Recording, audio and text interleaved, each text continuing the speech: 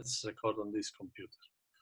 Okay, so it's a great pleasure to have uh, Jacopo Mastromatteo from uh, uh, CFM in Paris to give this uh, this um, joint work with uh, Thomas Medi and uh, Michael Benzaquen on um, what really is a financial instrument, insight from cross impact. Thank you. Yes, thank you very much. It's great being in Trieste, at least virtually. I hope that uh, as soon as we can, I'll be able to be there physically. But for the moment, that's uh, more than enough. So um, yeah, I try to come up with this title, which is meant to be a bit catchy. And what I'm trying to do is try to justify uh, and to build some narrative around the research we have been doing. The target was really uh, to build a model in which you explain how prices of correlated assets move as a reaction to trades but you can give some sort of interpretation and build up a story of this. So the idea is to try to guide you through the story that comes out. And the other angle with which one could see this work which is maybe more related to what you do is that um, you try to fit these models of price responses and the world is noisy and you have a large dimensional system and so you need some general principles that guide you and if you're able to pick the right principle then you can vastly reduce overfitting. So i think that's the message of, of this talk that doesn't necessarily uh, only relate to finance but it's a bit general and it relates to learning more uh, more in general. So first the plan is the following. I'm going to formulate a question. I propose a tentative answer in an infinitely liquid market then I formulate the same question for a market in which liquidity is finite and you have transaction costs, and I'll try to give some answers. Uh, someone based on common sense, and common sense takes the form of axioms and principles, and another one is data. And I'll see to I'll try to emphasize how those axioms play uh, with the empirical results. So I start with the first part and then I come back to the title and tell you what really is a financial instrument. And the emphasis here is on what really is a financial instrument as opposed to two or three. How do you count the number of financial instruments? And this seems a trivial question, but it's actually not. So I have listed some corner cases. First, if you're trading stocks like Apple, you can trade it in multiple markets. You can trade it in Nasdaq, in BATS. In the US, you have like 13 venues in which you can buy it.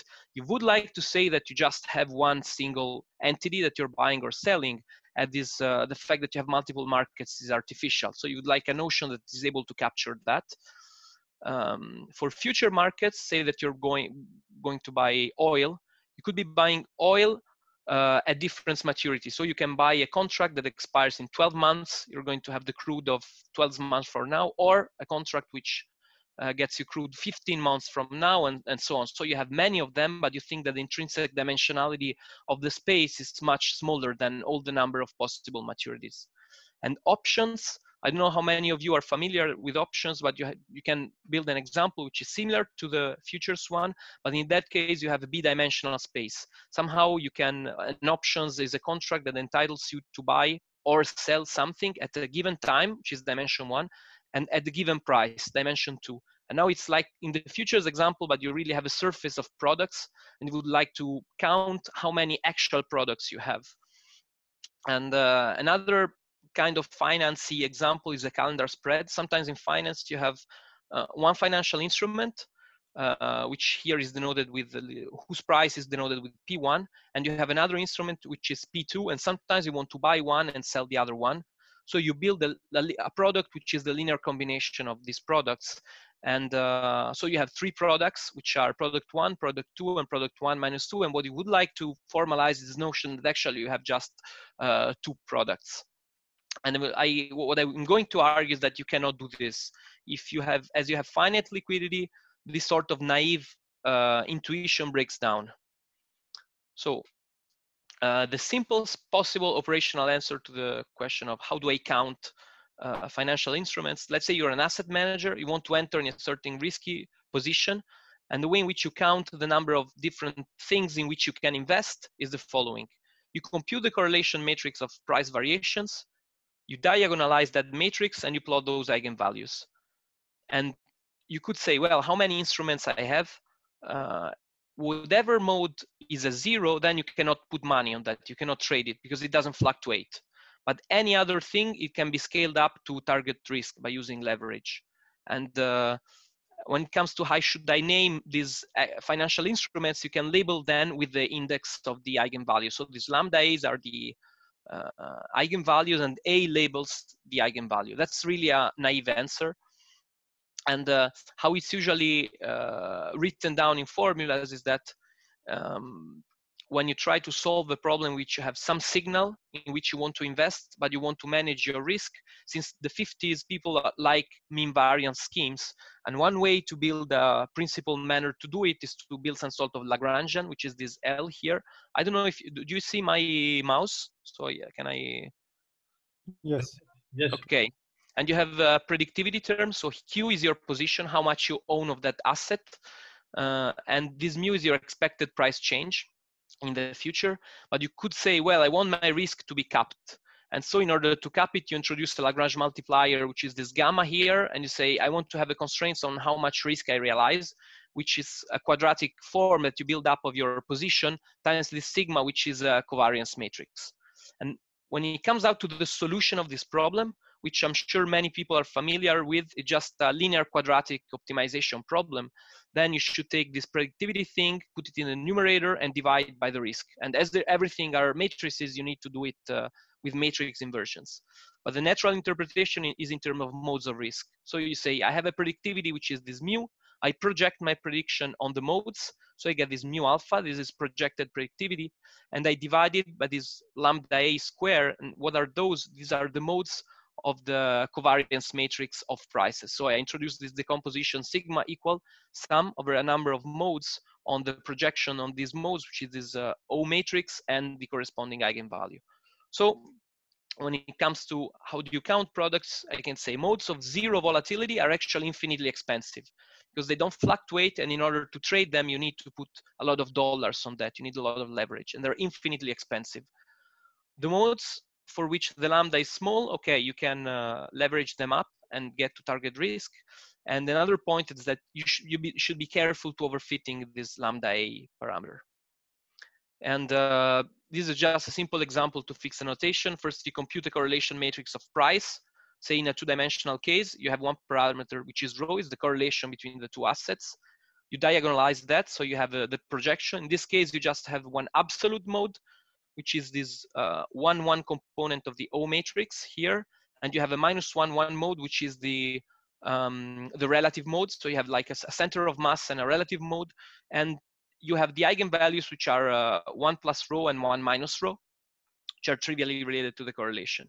So this portfolio in which you can put money are the center of mass, its risk is square root of one plus rho, and the other portfolio is the relative mode. And the risk that you can put is one minus rho, and for uh, rho equal to one, that relative mode will not fluctuate. You won't be able to bet on the difference between those two prices.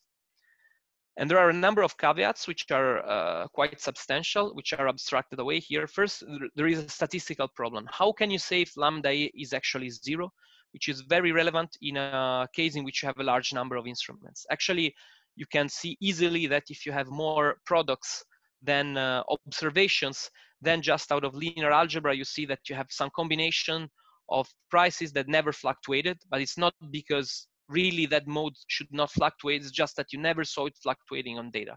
This problem, you can deal with that. It won't be discussed. You also have another subtle problem, which is dynamical, uh, which depends on the fact that I have not been talking about time scales. I, I didn't say if there are price variation at one millisecond five minutes, one hour, or one day. And the picture of correlation that you could have might vary. For example, in the Apple, which you might trade in different venues, uh, actually prices, they tend to go out of line at the time scale of some uh, micro to milliseconds. And so at that time scale, it does fluctuate. But if you go to say to the daily time scale, you can completely neglect that. So you have a hidden dependency of all what I'm going to say uh, in the time scale. I'm going to consider one minute. But the, the actual thing that I'm going to discuss is liquidity. Uh, what happens to this naive labeling of uh, actual financial instruments that I have proposed if liquidity is finite, which is today's topic. Mm, so uh, let's take the example that I have with this asset manager that wanted to invest. He had this predictor mu, and he wants to invest a fixed amount of, of risk, say $10 million. And this asset manager would like to invest this $10 million on the June expiry of a crude oil future. And then you see that the June, June uh, contract is not very liquid. And say, okay, then uh, the contract expiring in May and the one that expiring in July, they're very similar. They fluctuate in a similar fashion. Can I dilute my trading in these uh, products so that I add up liquidity given that they are almost identical? And here I'm using two ill-defined concept, which is adding up liquidity and almost identical. And I'd like to make this uh, uh, blurry notion a bit more precise.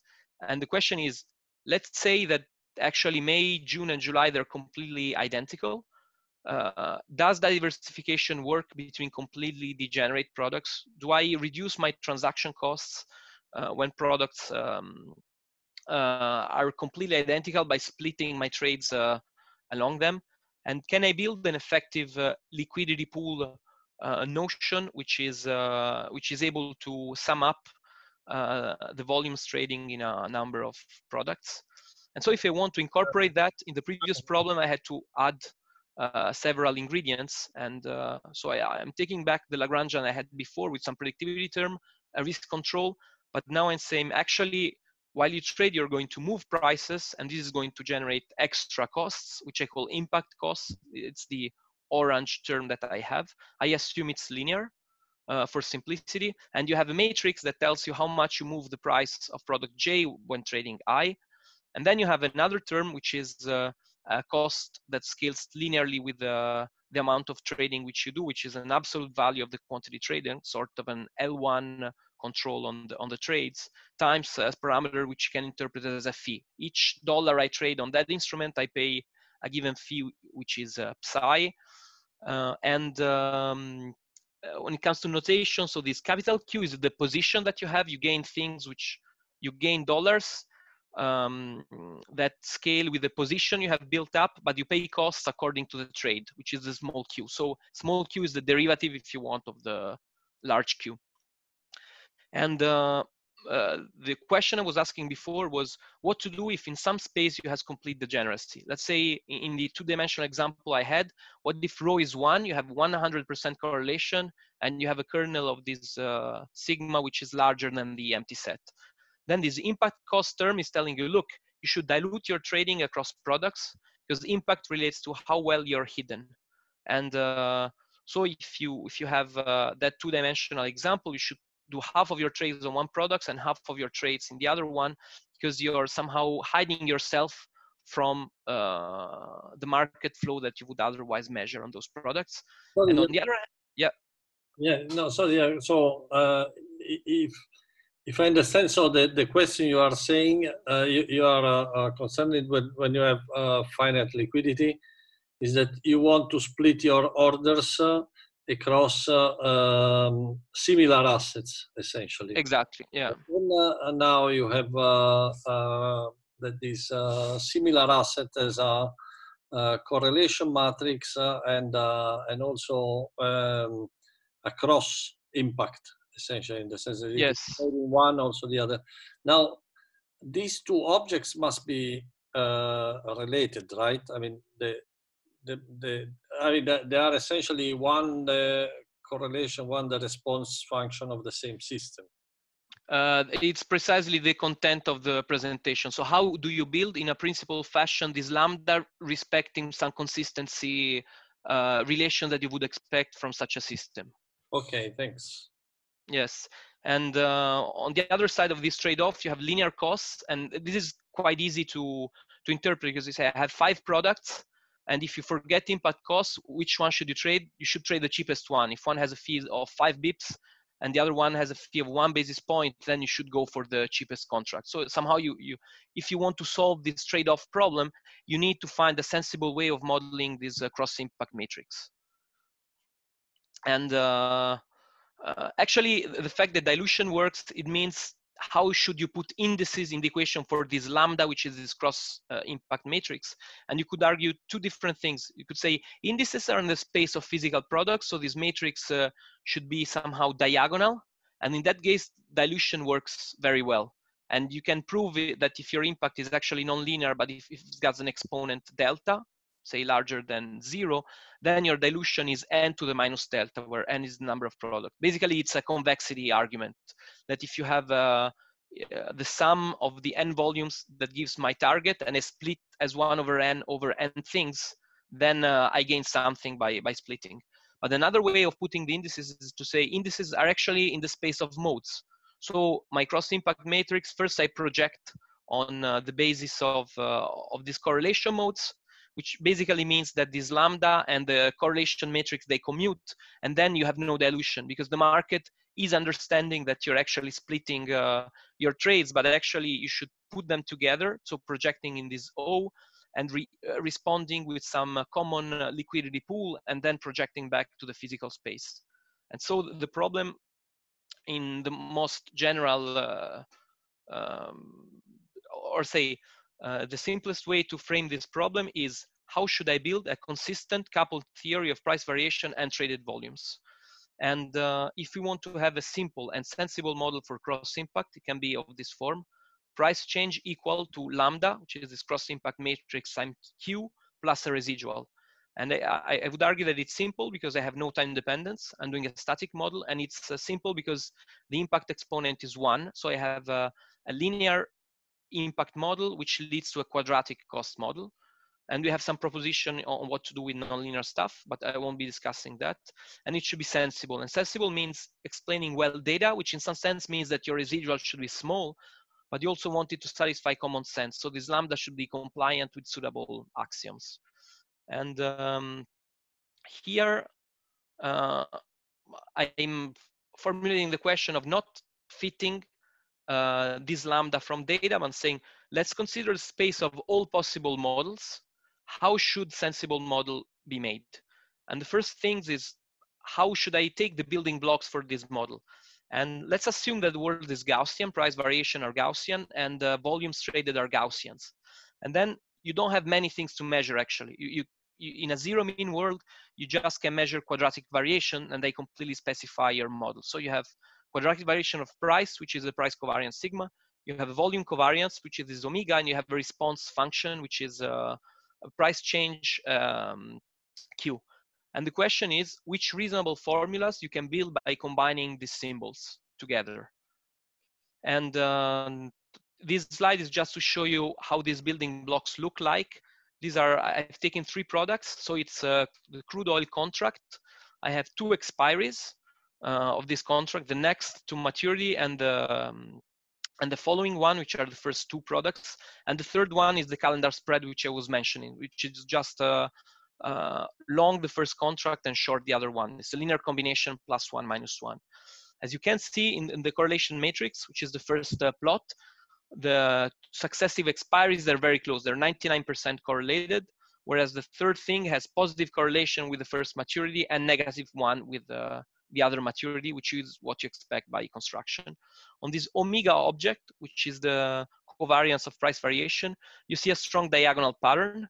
So in, uh, in the upper left corner, you see that um, there is a product which is much more liquid than the other, which is the so-called front month maturity, the product which is closer to expiry.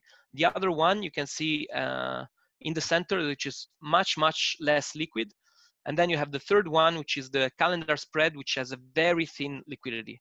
And this reflects in the plot of the response function because you see these vertical stripes and these vertical stripes are reflective of the fact that actually uh, the price variation, they might have similar scales, so you don't have horizontal strikes, but the volumes are very different. Some products are very much, much more liquid than, than others. And uh, actually, when I first presented this, the, the audience, they had like uh, uh, a device to answer to multiple choices tests. So I was asked to, to do quiz, and, and this was the quiz, but I will save you from uh, answering to this. But what I was doing is to build some candidates formulas and asking people if they like the formulas for cross impact or not. The first one is take the price covariation and do the third power because why not?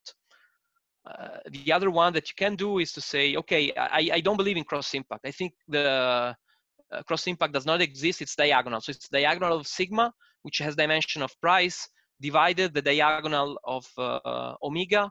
So they build something which is one over volume and have a delta P over delta V somehow, which is the, something that satisfies uh, dimensional analysis at least.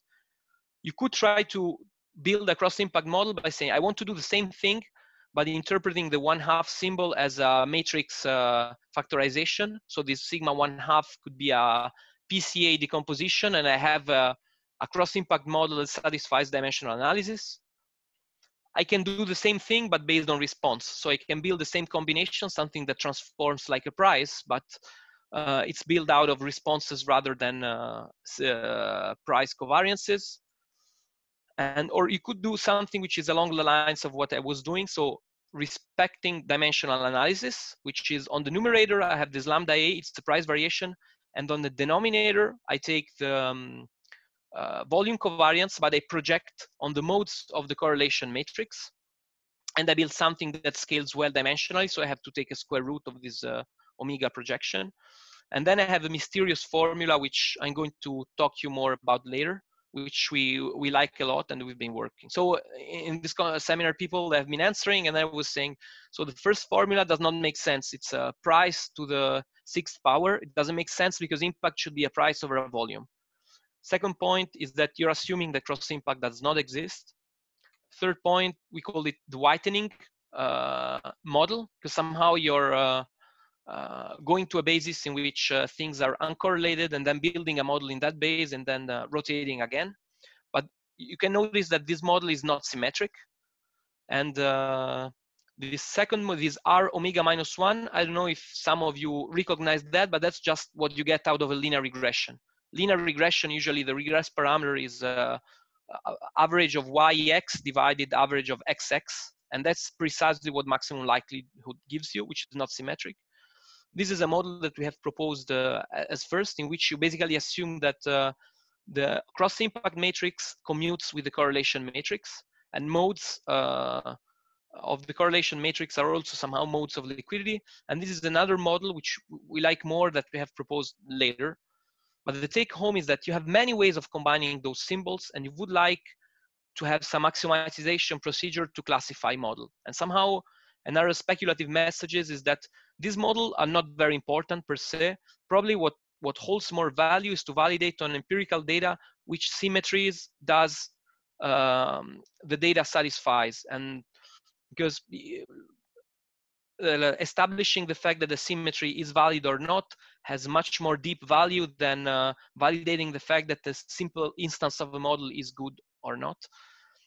And another point is that if you axiomatize, then you have a sort of a plug and play approach. You can enforce property in the cross impact matrix by controlling how your, your inputs look like. Somehow you control your output cross impact matrix by knowing what you're putting in, in a disciplined way. So how to enforce this common sense, this axiomatization? Well, first, you can try to get dimensional analysis right or gauge theory if you want, which is somehow glorified dimensional analysis. First, you could say, well, I want to predict price variations. There are costs expressed in units of cash, say dollars, which means that my cross impact matrix, given it's, that it's a function of the sufficient statistics, price covariance, response, and uh, omega, if I multiply all prices by alpha, then the cross impact matrix multiplies by alpha. And then you could go further and say, actually, the volumes they can be multiplied by arbitrary factor. If tomorrow I say that all volumes are multiplied by five, I can divide all prices by five and the market will behave probably just the same, uh, which is true to a certain extent. Then you have some uh, symmetry breaking uh, things like uh, uh, minimum tick size or microstructure related limits, but you expect the symmetry to be respected. I call this split symmetry because in stock markets, you sometimes have stock splits that uh, volumes are augmented by a factor and prices, they reabsorb that factor. And this reflects in the property here. Uh, prices uh, get a d to the minus one and volumes, they get a d. And this gives you a functional equation for your cross impact. And then you can, going even further, cost could be invariant under rotation of products. If you wake up in a world in which you can trade linear combination of products, you expect things to behave a bit the same. So the first axiom, we, we believe a lot in this, the second one a bit less, and the third one even less for reasons which are uh, easy to justify and that relate to the fact that uh, uh, the money that you make or the P&L that you make have symmetry breaking terms sometimes, and sometimes they're large. But uh, to a certain extent, it's natural to build models in which those symmetries are respected and then uh, uh, go progressively and, and, break them. Another property that you expect is that for uncorrelated product, impact should be additive. So if I take this cross impact matrix, but everything is diagonal, then it's the sum of a single product impact on this uh, on the on the products. And then you have very important properties which relate to no free lunch. No free lunch in uh, financial markets usually is the principle of no arbitrage. And it, in this specific instance, no arbitrage means that you cannot use uh, cheap products to push prices of expensive products and, and, gain money. So you cannot pump and dump, uh, use pump and dump schemes in this uh, uh, in, in, a real market, which means uh, boils down to the fact that lambda is, is positive semi-definite. And uh, this prevents the existence of static arbitrages. Somehow, if you also ask for the absence of dynamic arbitrages, then you should have a matrix which is also symmetric. And um, this is a reasonable thing to impose. When should you impose it? Well, if you're using the output of this research for optimi- for an optimizer, some algo trader that is taking decision, you want the thing to be controlled, not to start to pump the market or to trade infinity. So you need something uh, that doesn't believe that it can arbitrage the market away. So that's one good reasons to enforce this. And the other one is if you're a strong believer in market efficiency, which to me brings to the next point, which uh, is this uh, stupidity chart, which was made famous by uh, uh an Italian economist, uh, Cipolla, that divides people in these four categories: people who benefit themselves and the other who are smart. Then you have people who benefit themselves and uh, not the other who are bandits. Then you have people who bring losses to themselves and the others that you can call stupid. And an open question empirically is uh, the one that concerns uh, uh, the presence of arbitrages so it's not clear to me whether it's possible to arbitrage uh, the market i'm saying that it's bad behavior because it's it's forbidden by law. Uh, law prevents you from pumping and dumping, but there, it could be you could not doing that because it's forbidden and because it's unprofitable, or because it's forbidden but it could be profitable. And the open question is: Are real markets vulnerable to this thing? Which means uh, is trying to pump and dump using the other products just stupid, or is just or is it bad behavior? And this is a uh, uh, I would say still uh, an open point. Uh, so now I come to one of the properties which I think is uh, one of the most relevant. So it's, it's, a bit technical. I hope not to lose anyone in here, uh, but it's really central. And the idea is that uh, if you have combinations of products that never move, so which means that if you have a kernel of this sigma and you never measure fluctuations, you could have a condition called weak fragmentation invariance, should they, your, your impact should conserve that. If something never fluctuated, even if you trade in that direction, should not be able to move it. And in formula, you write it by saying that if you project your impact on the kernel of this sigma, then that should be zero. And then you could ask for more. Uh, we call it semi-strong version, which is actually you'll have a projection also on the other side, which means that regardless of how you trade those zero modes, you have no influence on what happened on the rest of the world when you uh, on the um, uh, on the thing that actually fluctuate. And the strongest version that you can ask is a, a requirement that actually everything just depends on uh, how the modes that actually fluctuate behave. That those modes that never fluctuate, they have no influence whatsoever on anything. Um, and uh, so somehow the property I had before, this fragmentation invariance, it tells you that if you have no fluctuations, impact should not move, and you would like to control it from first principle in this way. And there are other properties which are, we'll see are a, a bit related, which relate on liquidity. And uh, uh, this again, it's a bit of a, a long shot, so I'll, I'll go slowly let's say that you have some products which are very liquid. Their liquidity is proportional to epsilon. So this means that you have these uh, vertical stripes, as I was showing you uh, before in the response, and you'll have a strongly diagonal dependency in your omega uh, because you have this sub subspace of stuff which is uh, hard to trade. And what you would like to ask is that illiquid product should have finite influence on liquid product. So somehow, if I have uh, one dollar invested on a very uh, thin li liquidity product, you should not be able to use that dollar to move disproportionately, like epsilon to the minus one, something which is liquid. This we call it weak cross stability. And we also have a strong version of that, which is the fact that illiquid product should not change interaction among the liquid products. Somehow, if I introduce a new uh, um, a new instrument and uh, no one is trading that, the behavior that you measure on that should have no influence on the stuff which is which is liquid. And finally, these these two are nice properties, and they have a property that you should not want to have, which is a self stability, which is somehow dangerous, which is in the part of the plot in which you have the projection uh, on the illiquid space. And it's telling you that uh, actually, if you trade something which is illiquid, uh, you pay a finite price. Actually, what you would like to have is to have a model in which uh, uh, things are um, self-unstable in that you get punished if you trade illiquid stuff. Somehow you would like a model that tells you that you don't want to be the only one in the market trading some uh, some name.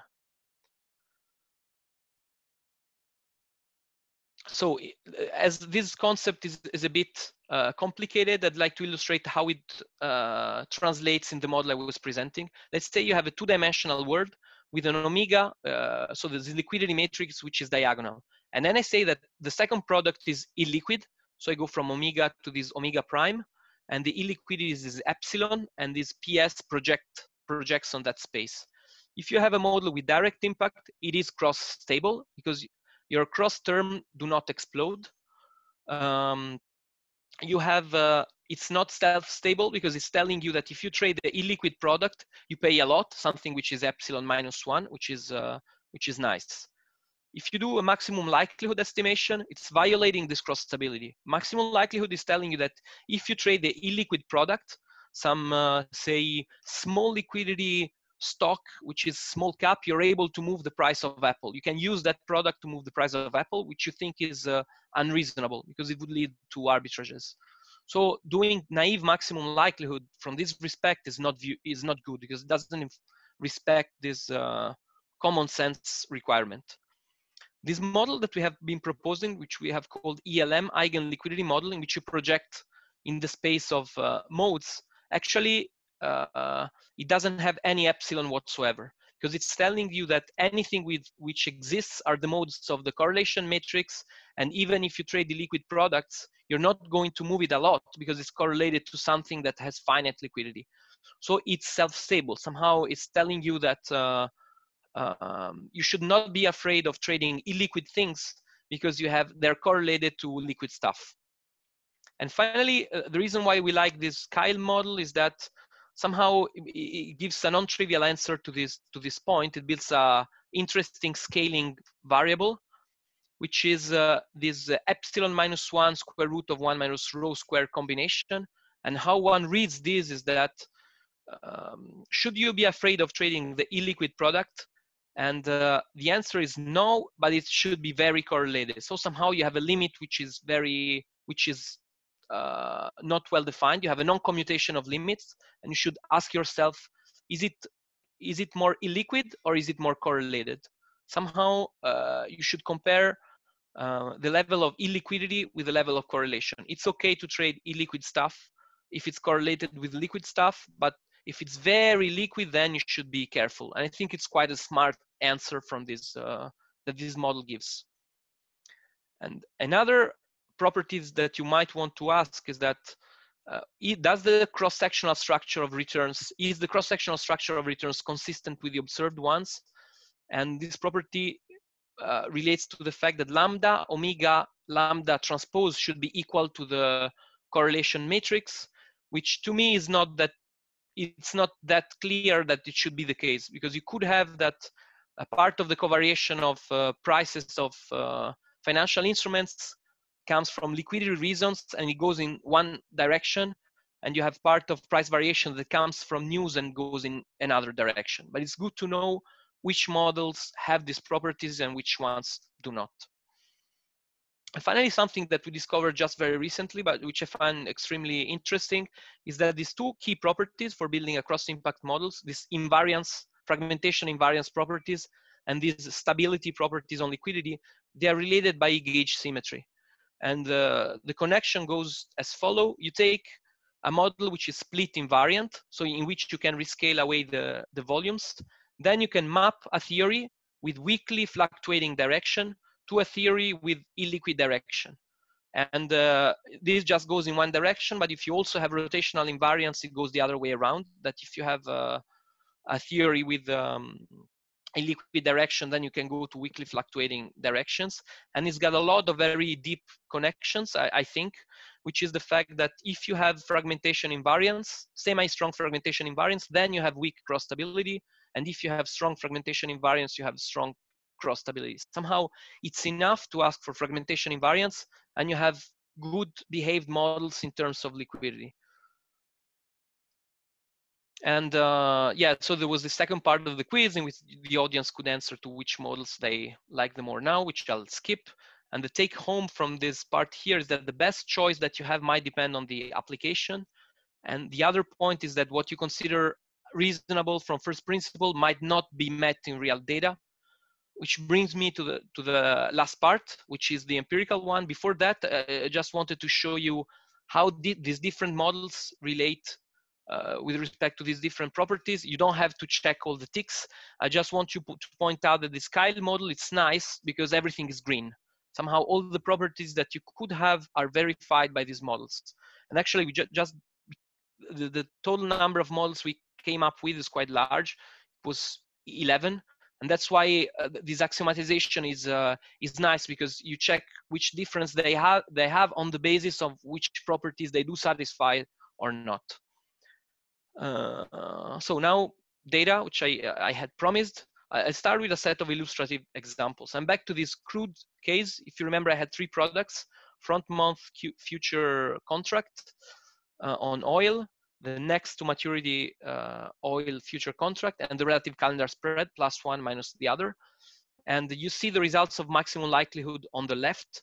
And what you see is that it's clearly non-symmetric and you see these strange vertical stripes. As this trading, this combination plus one minus one actually was able to have a disproportional effect on uh, crude, which seems a bit unreasonable.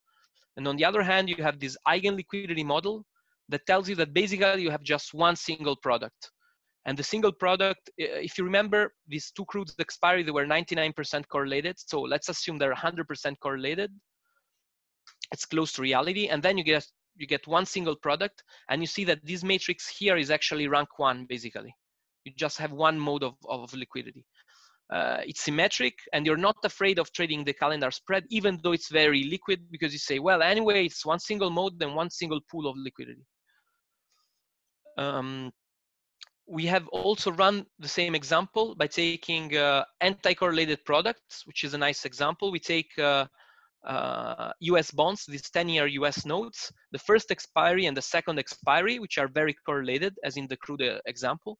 And then we take the Standard & Poor Mini, so it's an index future, which is basically the state of the US equity market. Uh, the first expiry and the three months expiry, also very correlated, and they are typically anti-correlated, but always except in this COVID-related uh, days, as we have discussed uh, before. And um, so that's the that's it for the correlation matrix. And when you look at the volumes, uh, what you see is that the, the front month expiry is very liquid, and uh, the other ones they're less liquid, which reflects in the vertical stripes in the response function.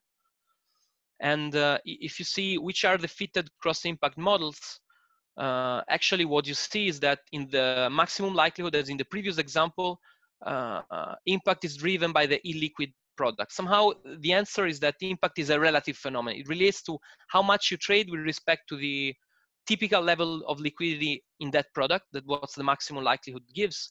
Whereas this eigenliquidity model tells you that impact is absolute. It's not about the relative level of your trading with respect to the usual. It's about the the overall number of dollars that you trade, which means that basically in this ELM cross impact matrix, you have two blocks. Which are basically one single product, and then you have this uh, uh, cross piece. And finally, this Kyle uh, model is quite interesting because it's able to, to give a, an impact model which has a negative sign of in the off diagonal block. It's able to grasp the fact that effectively you have a single product uh, for the 10-year US note and for the SP mini things. You have these two by two blocks, but somehow it also understands that it's if you trade the thin liquidity contract, you might move it by a lot. So you have 4.4, 4.3, 4.3. It's the same product, but you have a 59 if you trade the illiquid uh, thing. So Kyle is saying that impact is not relative and not, not absolute, and it's something in between and uh, satisfying all the axioms that we had uh, put. And the other uh, final illustrative example is what you see on stocks, which we used in order to uh, emphasize the fact that you can uh, uh, run this um, this machinery in a high dimensional space. So we take, I think, 400 products. these are the correlation matrix for stocks. You see that you have a strong diagonal component you have a strong market mode, which has been removed from the plot because otherwise you would see a constant color thing. But if you remove the center of mass, you see things which can be associated with uh, financial sectors, which are like blocks in this uh, correlation matrix. And actually the correlations of volumes, it looks pretty much the same. So points I want to make in the slides that you have the strong diagonal component correlation in both cases. Um, you have the market mode removed, sector structure, and uh, somehow the flow correlation is less uh, correlated uh, cross-sectionally, which means it's a bit more diagonal, which is not visible in, in the figure.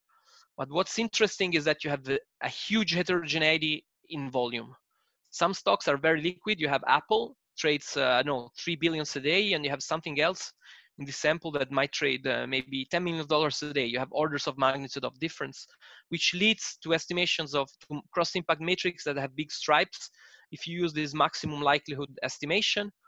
And on the other hand, if you do this eigen liquidity model prescription of projecting on the modes, uh, things are very much homogeneous, but you don't somehow, you don't conserve this uh, heterogeneous volume uh, aspect. And this Kyle model is able to do a bit of both.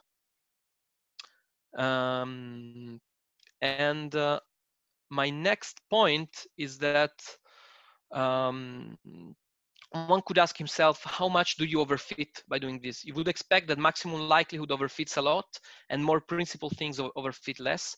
And what you see in, in this plot is that in the upper panel, you see an R square of these regressions at the time scales that we have been using, like one minute. And there is actually maximum likelihood that does, does good. The bottomest panel is the overfitting.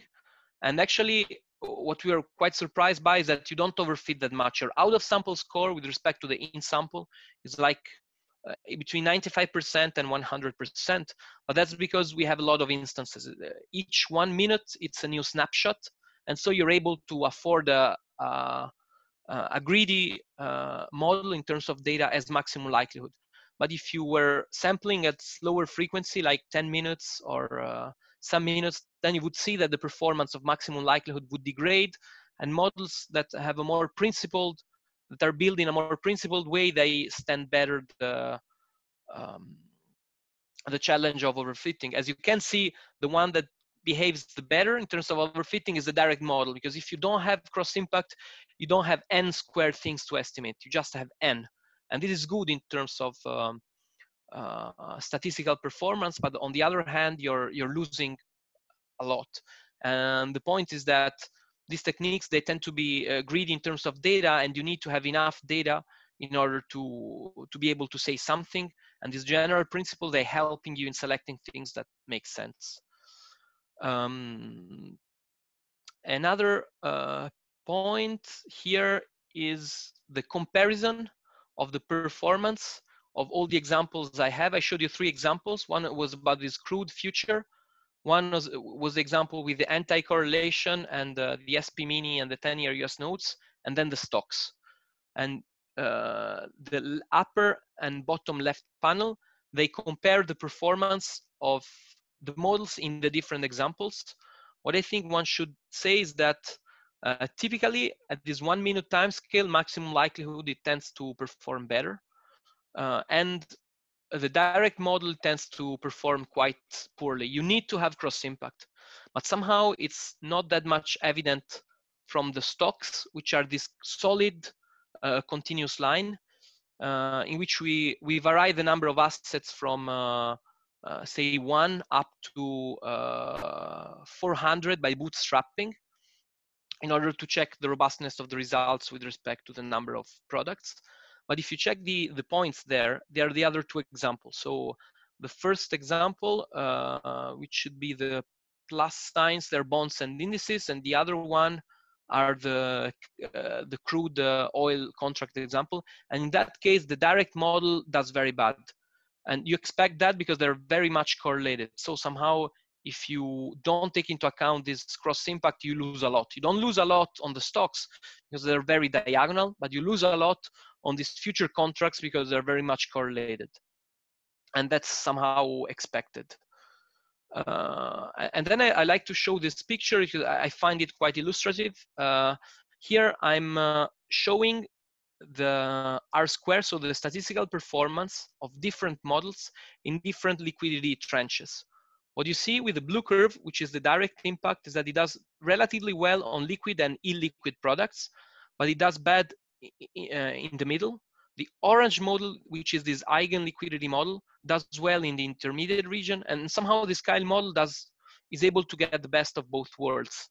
And uh, maximum likelihood again does better for this choice of, of time. And this has an intuitive uh, representation.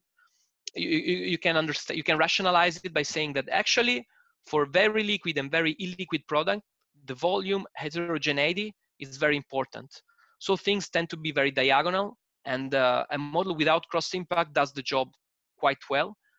In the intermediate regime, you would expect um, a model that has uh, um, cross impact and that puts all liquidity together to go to do well. But if you want to have right both the illiquid regime and the strongly correlated regime, you need some good way of interpolate, which brings you to this uh, green curve. And uh, the last bullet point I have is that yes, maximum likelihood does a bit better of them, but it overfits more at, at larger time scales. And uh, yeah, I had this very last instance of this quiz, and the take homes are that well, you can rule out bad models based on data, but noise often leaves you with a set of reasonable models, and using principal criteria for model selection might be a good idea in, those cases. And the conclusions uh, first, on the theoretical side, the initial recipe I gave was naive. Labeling the modes of sigma as true products misses the liquidity effect. This eigenliquidity model predicts that they're actually the same thing, assuming that correlation and liquidity, they are matrices that commute. But in general, if you have heterogeneous liquidity, these things do not commute. And what actually is a financial instrument has a hard answer because you have non-commuting uh, objects. And in practice, you actually have no clear winner on data. Uh, the application should be a tiebreaker among models performing similarly. And on the other hand, arbitrage condition, fragmentation invariance, and liquidity behavior, they play a crucial role and you would like to understand what's going on from that angle when choosing a model. Uh, for example, a direct model is working if your trading is quite diagonal, but it fails miserably if you if you're trading, uh, say, modes or relative modes of products. And this Kyle prescription, it's nice because it gives you decent performance and many convenience features which are guaranteed ex ante. And I think it's all, yeah. Okay, thank you very much. So now, uh, are there uh, questions? Uh, may maybe I can uh, start asking uh, a question while we read your disclaimers. Uh, yes, always very funny. so, um, so what, what, uh, why, why do you call this model uh, Kyle model? Does this has to do with uh, I think it's a, it's a backup slide. Yeah, how do we came up with these models and why it's called Kyle? Uh, because you might uh, see this model as arising from a, somehow a variational principle, as an, an, equilibrium of some game. It's a Nash equilibrium of a game in which you have uh, some market makers whose job is to um, is to price correctly the information which is contained in, a, in an order flow. You have informed traders that uh, receive the, say, correlated trading signal, and you have noise traders uh, that are used by the informed trader to hide himself. And somehow you have an adversarial feature in that if the market maker is wrong about his pricing model, the informed trader is able to exploit that weaknesses, right? So mm-hmm. somehow if you find an equilibrium to this game, you find uh, an impact model that cannot be arbitraged by construction, mm-hmm. that arises. So the idea is to put an adversarial aspect in that that ensures that the formula is robust, in that uh, uh, whatever weakness you put in it, it would be arbitraged uh, by someone else who's playing against you, and then you, you guarantee ex ante that there cannot be arbitrary, uh, say, evident arbitrages in that. Uh-huh. Okay, thank you. Uh, are there other questions? So if not, I have another one. So all of what you discussed is based on, um, say, correlation matrix, uh, say, linear response, um, and this. Say, mm-hmm. essentially, uh, it would be uh, idea. I mean, um, it seems like you are assuming a Gaussian world, essentially. Now, um, uh, is this is this correct? I mean, or uh, uh, so are yeah, there higher order uh, connection uh, corrections? Uh, I th- so the f- first point is that I think it's very bad to to as- always assume a Gaussian world, which is I think one should do more than than this. On the other hand, if you're not even able to build a nice model in a Gaussian world, you're bound to fail in more complicated settings. So we said, okay, first let, us do this and then uh, move forward. And this Mehdi Tomas is working on uh, on this in building non-Gaussian, non-linear uh, version of that. For example, something that we are seeing is that the uh, correlation structure of volumes is uh, is not linear. So conditional to the trading on one asset, uh, the average uh, volume traded, the average imbalance on the other ones is nonlinear, and you have saturation nonlinearities, and and they they bring in effects, for example. Okay, uh, Ricardo has a question. No, uh, he has to run to another meeting. So actually, you also have to run to another meeting, uh, Jacopo, right? Yes. So uh, uh, if no one else has a burning question, uh, so I I had one. So uh, can you use these to understand how much these axioms are uh, uh true in uh, real finance? So, uh, yeah, again, this is a project that we would like to start. So not, not focusing on the models, but seeing how well you're able to rescale things. Somehow, uh, what is gauge invariance and stuff, they tell you that uh, you can rotate stuff or dilute things and having collapse of curves. So you could use these symmetries and check how much these curves collapse and at which point you break symmetries. For example, I know fees and spreads, they break rotational invariance because you have these absolute value things. So you would expect something that maybe has rotational invariance when you trade a lot, but at some microstructural scale, you expect to measure rotation. And uh, one could do that, yeah. Okay, so um, I think uh, we need to close here. So it's uh, one minute to three. Thank you very much again, Jacopo. And, Thanks uh, to you. And uh, thank you all for uh, joining the seminar. And uh, see you next time. Yes, see you next. Bye. Okay, bye bye. Thank you. Thank you. Ciao. Bye.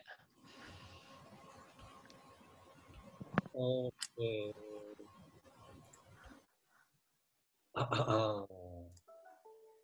so Massimo. Eccomi, uh, sì. Come faccio ora? Faccio stop recording? Sì, stop recording.